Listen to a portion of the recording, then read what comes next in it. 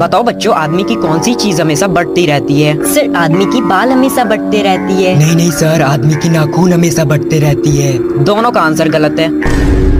रक्षित तुम बताओ आदमी की ऐसी कौन सी चीज़ है जो हमेशा बढ़ते रहती है? बहुत आसान सर। उम्र वेरी गुड नेक्स्ट क्वेश्चन वो क्या है जो मर्द में दो और औरत में तीन होती है? सर अक्षर जो मर्द में दो और औरत में तीन होती है। अरे वाह तू तो बैक बेंचर से सीधा टॉपर बन गया है।